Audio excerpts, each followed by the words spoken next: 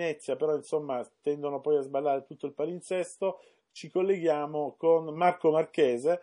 Ecco, Marco dovrebbe essere in onda in questo momento, eccolo qui, ecco Marco Marchese che è il segretario dell'Associazione Radicale Calabria Radicale.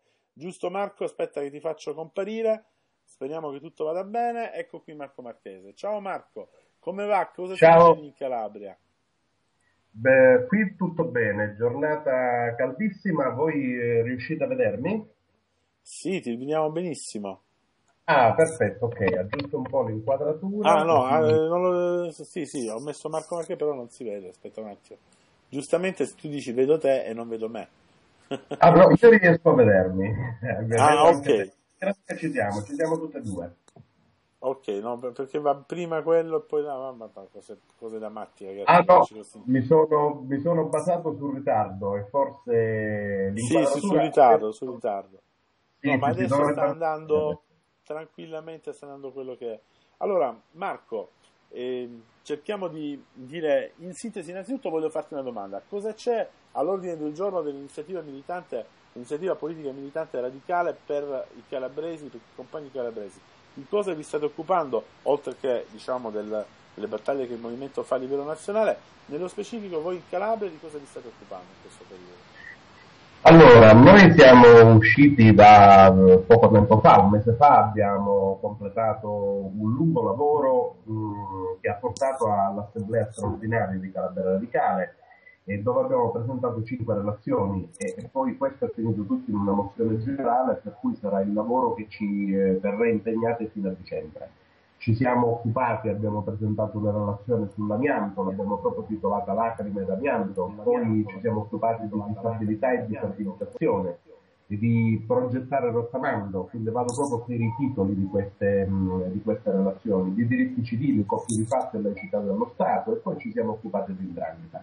Cinque argomenti assolutamente impegnativi e questi qui saranno adesso ehm, gli argomenti che porteremo avanti con la nostra, con la nostra iniziativa politica.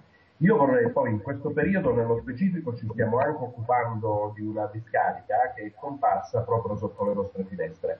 Però, ecco, E là ti fermo, e là ti fermo, e là ti fermo. Perché dobbiamo far vedere un video a chi ci sta seguendo. E dopo lo diciamo, eh, come nella, come nella migliore tradizione lanciamo il Lo possiamo anche e- commentare insieme mentre lo vediamo, se ti va. Allora, spostiamoci un attimo, resta collegato Marco, eh? spostiamoci un attimo di qua e vediamo questo video.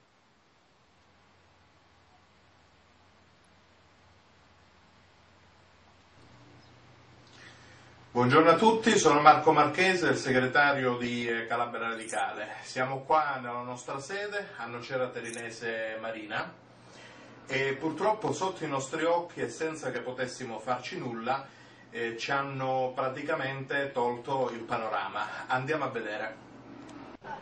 Allora, che cosa è accaduto? È accaduto, come vi dicevo prima, che proprio sotto i nostri occhi eh, si è formato, guardate direttamente voi, una discarica abusiva.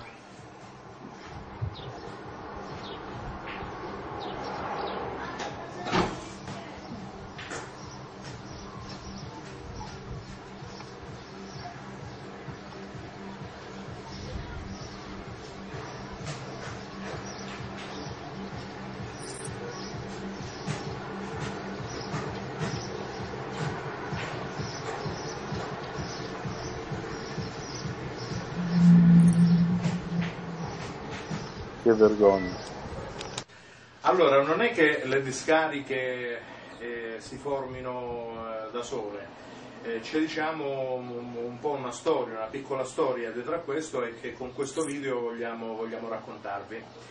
E, mh, prima di tutto passiamo, mh, vi faccio vedere che cosa è uscito sul, sul quotidiano Calabria Ora, eh, grazie proprio ad una nostra segnalazione.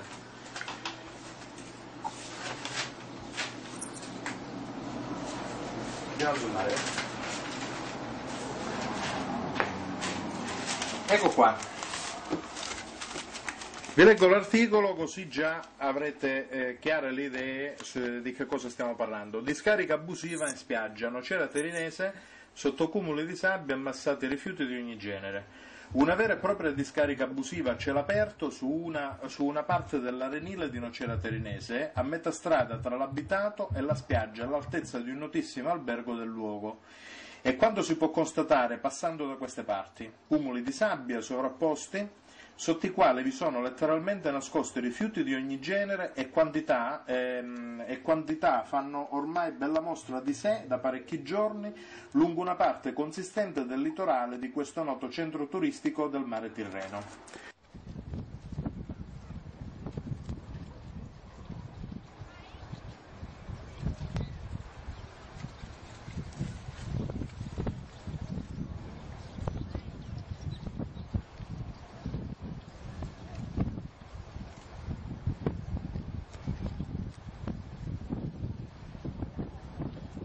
Roberto?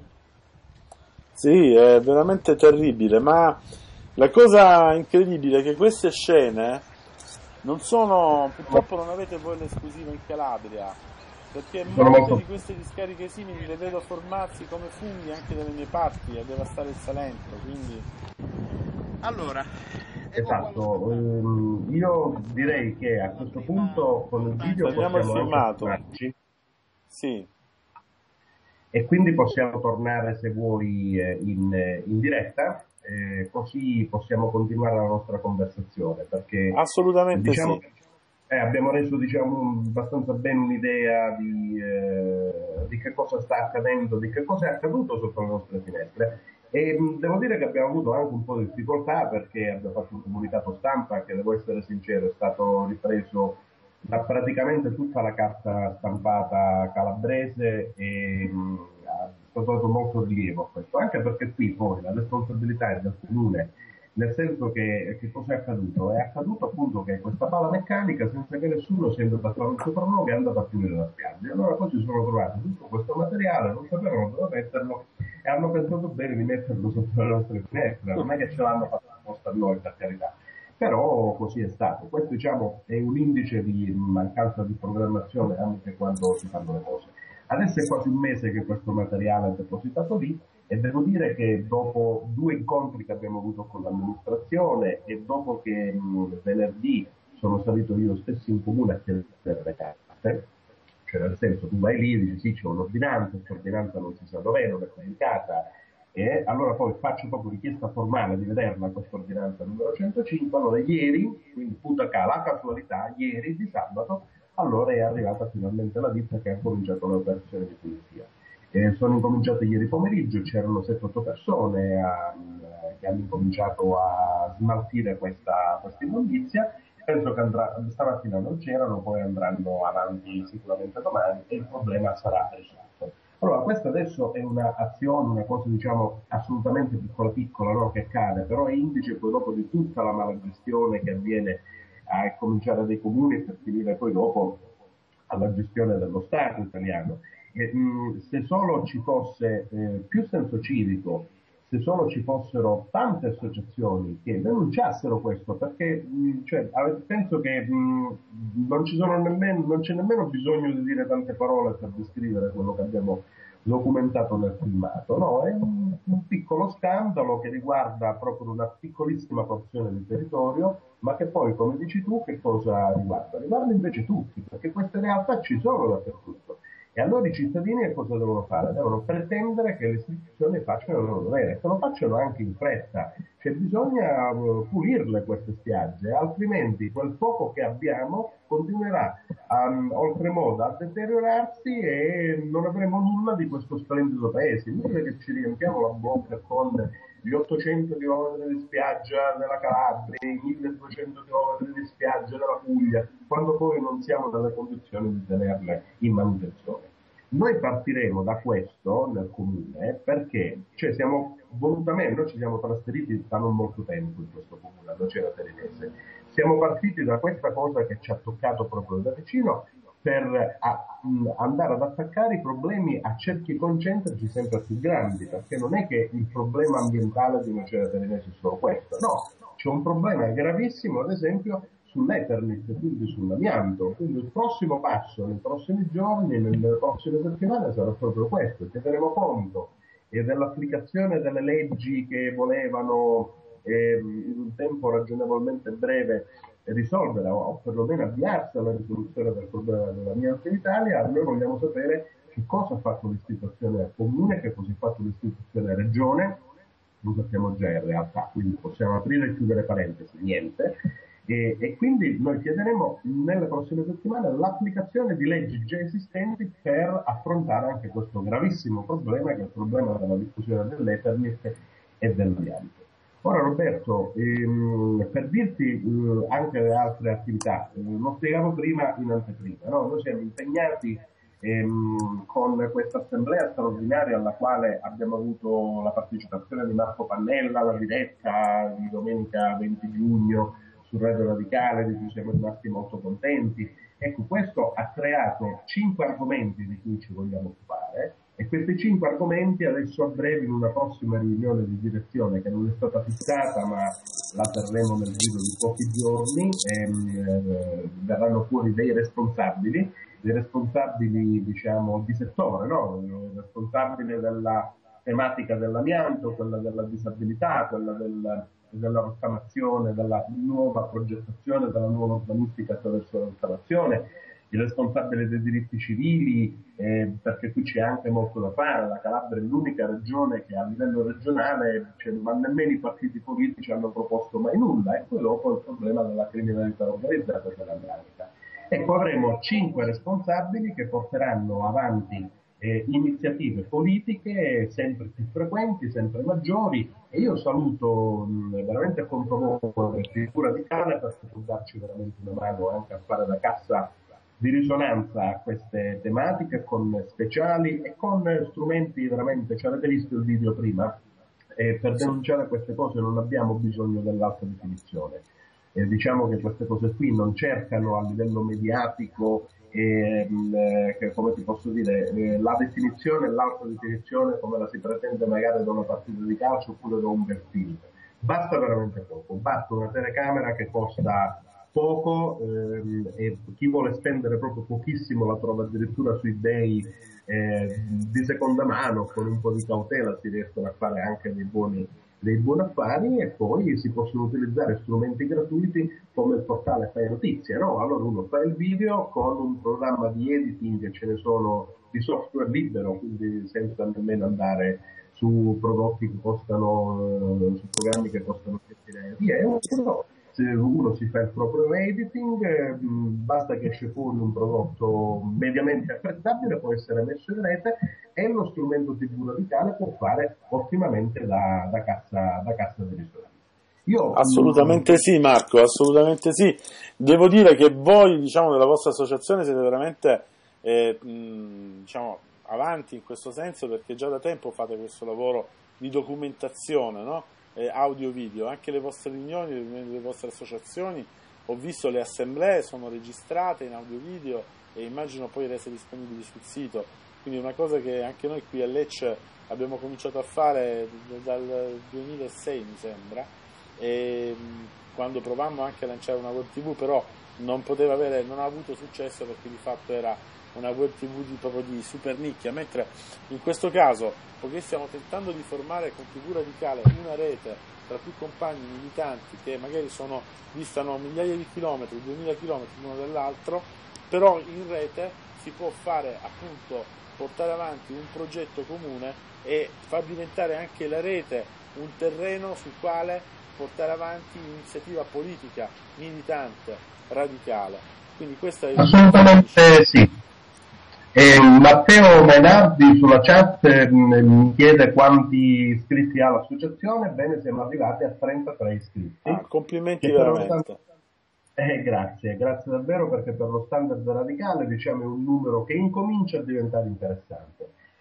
Fra questi 33 iscritti ce ne sono anche una decina che sono iscritti a radicali italiani oppure ad altri soggetti, circa la metà sono iscritti, voglio dire, eh, fra radicali italiani, pacchetti e, e, altri, e altri soggetti. Questa è anche una cosa assai, assai importante e, da, e a settembre eh, apriremo di nuovo una nuova campagna di iscrizioni con l'obiettivo di raddoppiare gli iscritti, per cui ci porremo un obiettivo di eh, almeno 70 iscritti.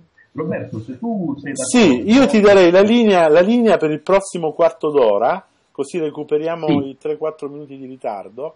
Quindi metterei in sì. video solamente te, così, e, così, io mi vado un attimo a rifocillare di 5 minuti, e a, insomma a rifocillare, non solo, e così fai la rassegna stampa eh, che avevi detto appunto sulla questione degli arresti, dei più di 300 arresti, l'operazione crimine, no? l'hanno chiamata esatto. eh, arre- più di 300 arresti tra la Calabria e la Lombardia per presunta affiliazione all'andrangheta.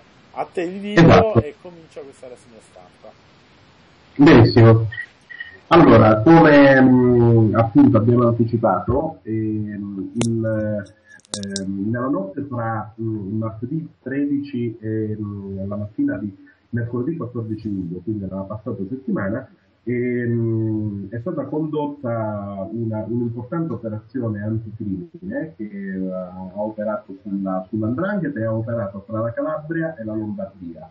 E adesso io per questa, questa qui ho una rassegna un po' ragionata, non è, una, non è tanto una rassegna stampa, nel senso non vedremo molti eh, quotidiani, ma ne vedremo uno solo e andiamo a trarre le parti più interessanti ehm, che abbiamo potuto leggere su questo quotidiano, ci basiamo su quello che ha scritto eh, Calabreora perché ci sembra il quotidiano che ha meglio seguito questa operazione.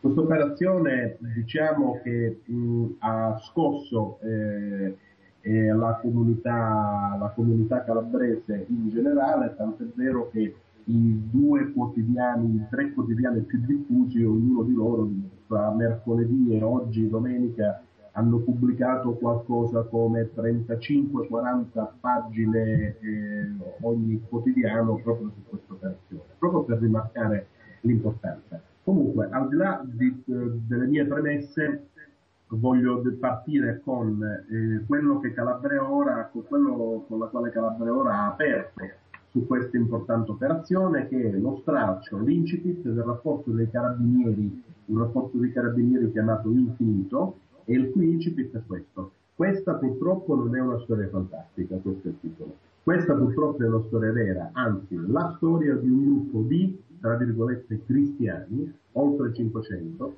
che sebbene il numero richiami alla mente circostanze ben, eh, ben più etiche ed eroiche, hanno realizzato delle condotte che nulla hanno di etico e di eroico. Questa è la storia di un uomo, di una struttura di 20 locali, ecco quando si parla di locali si parla di locali di transita, e di un'associazione di individui tutti provenienti dalla stessa area geografica d'Italia, dalla costa ionica e dalla Calabria. Questa è la storia di chi voleva eh, rendersi indipendente dalla mamma matrigna, tra virgolette, ehm, eh, eh, da questo cordone umbilicale e, e, che non voleva decidere. Questa è la storia dell'andrangheta in Lombardia, ma è anche la storia dell'andrangheta in Calabria, perché non esiste per chi è andranghetista un diverso dalla Calabria. Tutto il mondo è diviso in Calabria e ciò eh, oppure eh, questo lo diverrà.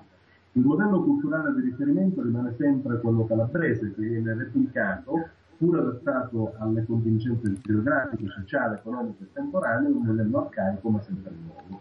Come disse un andranghetista, noi abbiamo passato, il presente e il futuro. Ecco, questo è diciamo, il, proprio l'inizio, l'incipit eh, di, questa, di, questo rapporto dei carabinieri titolato Infinito, sulla quale poi dopo si è basata un po' tutta quanta l'inchiesta da parte della direzione distrettuale antimafia di Milano e di Reggio Calabria che hanno portato all'arresto di 304 persone eh, nel corso di questa settimana. Fra questi arresti qui, ecco qua, eh, leggiamo mh, eh, diciamo, la parte mh, forte che è stata pubblicata. Fermato il crimine, 300 arresti da Reggio a Milano. Cioè, mh, quando si parla di crimine si parla eh, di eh, un'importantissima carica in seno all'organigramma della mafia. Poi abbiamo un sottotitolo decapitata la mafia imprenditrice, ma reste anche quattro carabinieri, per cui l'Andrangheta aveva sul libro paga questi quattro carabinieri che facevano un po' da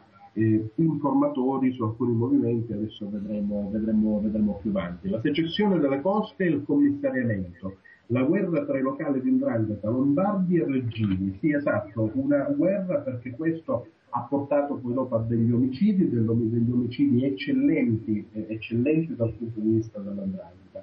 L'Andrangheta ha 500 affiliati in Lombardia, pensate un po', però questo dato è anche da confrontare, cioè, sarà, purtroppo di affiliati probabilmente ne ha di più, sono divisi in 15 locali.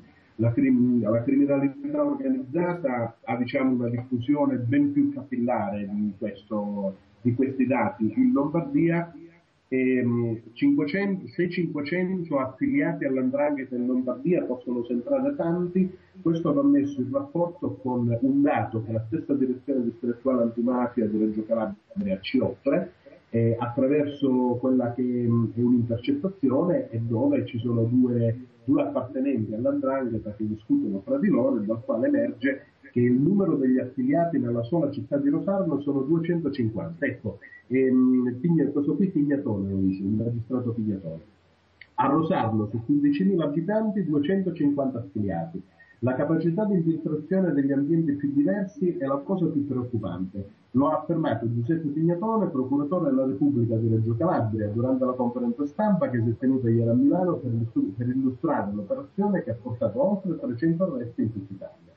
Pignatore ha spiegato come l'indagine congiunta della DPA di Reggio Calabria e Milano sia nata da un, da un convincimento comune, sposato anche dal procuratore nazionale antimafia Piero Grasso, di contrastare l'espansione delle coste nel nord Italia. Il procuratore della Repubblica ha inoltre sottolineato l'esistenza di un numero eccezionalmente alto di affiliati ehm, anche nei piccoli centri, l'esistenza di notevoli collezioni al di fuori del territorio calabrese e in questo caso in Lombardia, secondo il modello della colonizzazione. Poi questa colonizzazione non è altro che una replicazione del modello ndranghetistico, diciamo, in altre regioni rispetto a, eh, al, all'assetto che ha qui localmente nella, in Calabria. Pignatone ha citato le intercettazioni di un boss di un'andrina in cui si parlava di non meno di 250 affiliati in una cittadina come Rosarno, su 15.000 abitanti locali, quindi parliamo quasi del 2% della popolazione.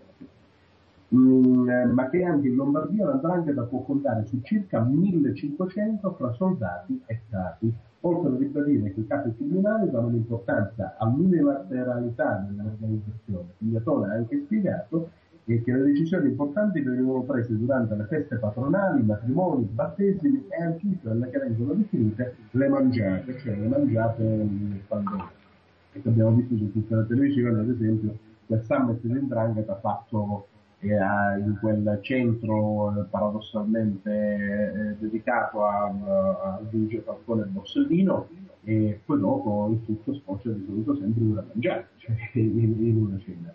È diciamo in questi momenti conviviali che il, l'andrangheta assegna le cariche e sviluppa i propri organigrammi e anche le proprie strategie.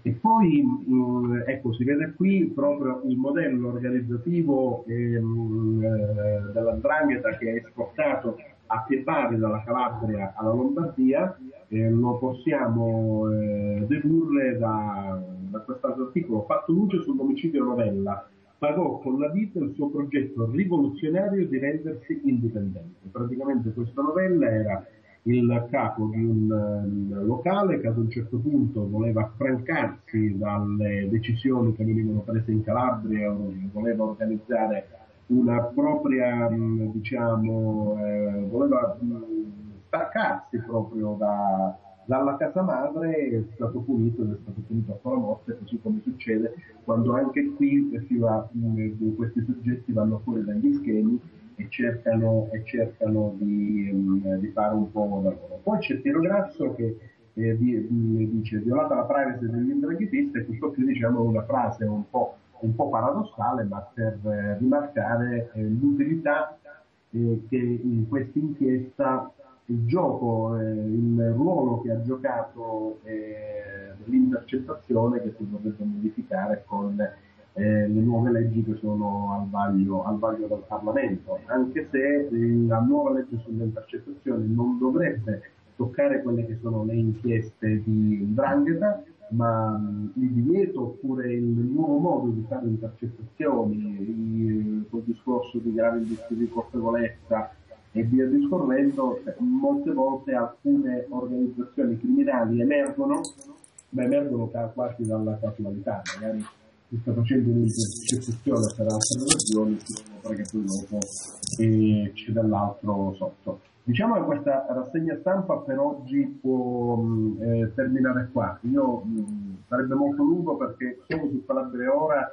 ci sono più di 40 pagine di giornale che potrebbero essere viste, sulle quali si potrebbe discorrere. Io vorrei aggiungere soltanto, soltanto un'altra cosa. E, ehm, noi abbiamo una politica di comunicazione governativa in questo momento per quanto riguarda l'andrangheta e la criminalità organizzata in genere che è veramente sbagliata, sbagliata e cordiale, perché questi, questa operazione crimine, e questo anche lo dicono i magistrati, c'è un'operazione sicuramente importante, un bel colpo dato a queste organizzazioni criminali, anzi l'intento accusatorio in questi giorni sta reggendo perché tutti i fermi sono a vaglio dei giudici per le indagini preliminari e sono veramente pochissimi i fermi che non sono stati convalidati con le carcerazioni preventive. Noi ci auguriamo che questa indagine possa andare avanti speditamente e possa poi arrivare ad un processo in modo da fare chiarezza per mettere, per mettere fuori gioco anche eh, tutte queste persone che sono state fermate. Però ci dobbiamo mettere in testa due cose. La prima è che la criminalità organizzata e l'andrangheta nello specifico a questa operazione è molto ben preparata. Ehm, se viene arrestato il capo dell'andrangheta o Pevisano piuttosto che il capo di un locale, un capo crimine, eh, c'è già pronto il suo sostituto, come è normale che sia, perché se io mi metto nei panni di un criminale è chiaro che metto in conto la possibilità di essere arrestato, quindi per dare continuità alle attività criminose, per mantenere la mia famiglia e per portare avanti anche il dominio sul territorio, è chiaro che io mi preparo preventivamente a queste eventualità. Uno.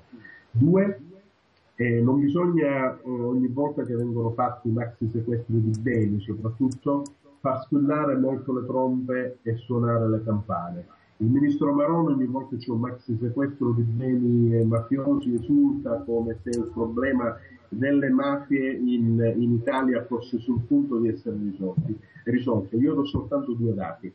Eh, Confesercenti ha fatto un po' le pulci al fatturato della criminalità organizzata in Italia, per cui parliamo di Cosa Nostra in Sicilia, Andrangheta in Calabria, Sacra Corona Uniti in Puglia e Camorra ehm, in Campania. Il fatturato delle mafie in Italia è pari a 130 miliardi di euro all'anno, cioè qualcosa come oltre 250 mila miliardi di lire. Io lo dico semplicemente per rimarcare che gli zeri sono veramente al posto giusto. 130 miliardi di fatturato all'anno.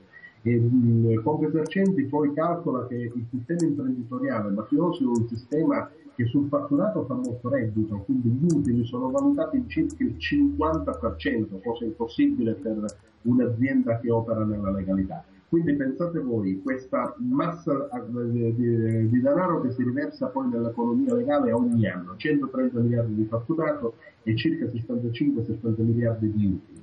Voi pensate che negli ultimi due anni, quelli di Maroni, che ogni volta c'è un sequestro balla la tarantella quando fa la conferenza stampa, dice ci siamo quasi, allora, i sequestri, i sequestri di beni alle mafie negli ultimi due anni sono stati pari a 11 miliardi di euro, cifra assolutamente ragguardevole di tutto rispetto. Ma se la confrontiamo col volume del fatturato, 260 miliardi, 130 miliardi per due, che sono trascorsi due anni, 11 miliardi di sequestro su 260 miliardi di fatturato è un solletichino.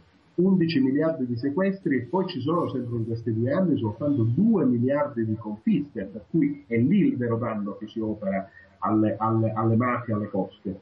Quindi 2 miliardi di confische, 11 miliardi di sequestri su circa 125-130 miliardi di utili è veramente il solletichino. Siamo ancora in alto, alto, alto mare per incidere concretamente e seriamente eh, nella lotta alla criminalità e se voi andate sul sito del Ministero degli Interni www.interno.it vedete che in home page in alto a destra trovate proprio un, eh, un, box dove il ministro Maroni pubblica con puntualità certosina ogni mese i risultati del governo Berlusconi sulla lotta alla mafia.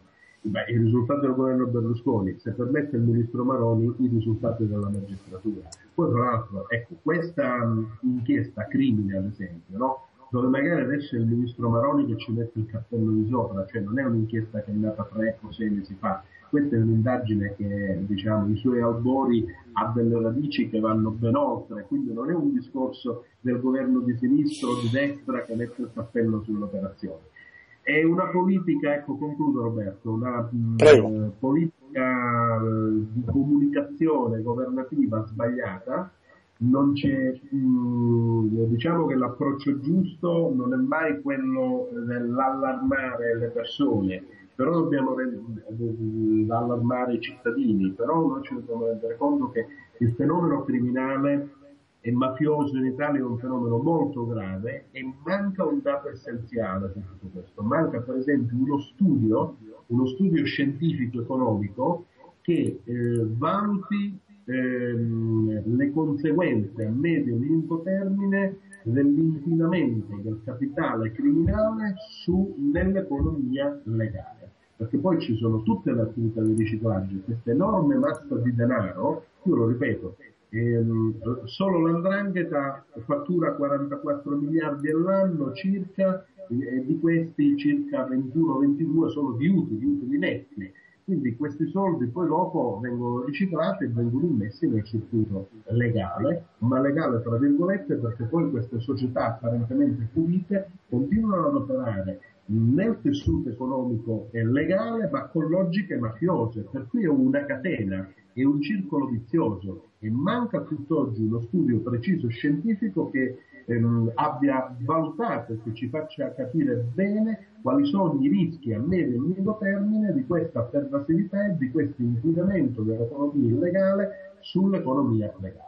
Io mi fermo qui perché con eh, TV Radicale avremo sicuramente ampi spazi e, e, molte possibilità di confrontarci su, quanto, su tutti questi argomenti perché avrà voglia di approfondire e di seguirli.